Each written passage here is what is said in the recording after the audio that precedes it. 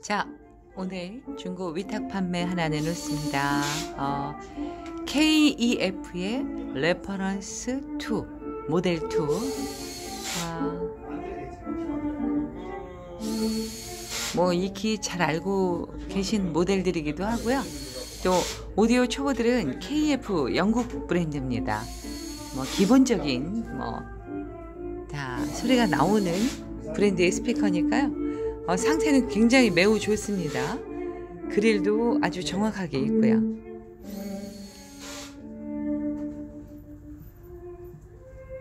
오디오 초보 지금 처음 입문하시는 분들 딱이에요. 괜찮습니다. 톨보이 스타일로 어, 뭐 보이스나 이런 가볍게 BGM으로 클래식 듣기도 좋고요. 어, 음색이 워낙 따뜻하기 때문에 베이스도 적절하고 좋습니다. 아, 판매 금액 55만 원. 어, 그리고 앰프가 있어요. 지금 온큐 앰프, CDP 뭐 이렇게 해서 토탈로 묶으셔서 사셔도 돼요.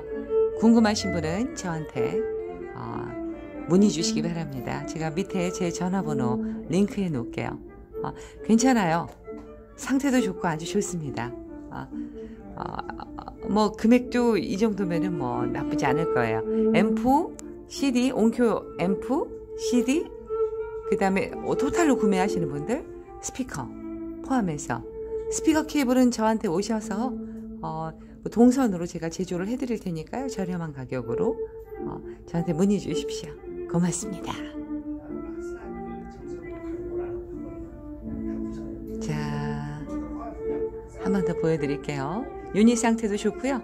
소리 내고 있는데 뭐 좋습니다. 자.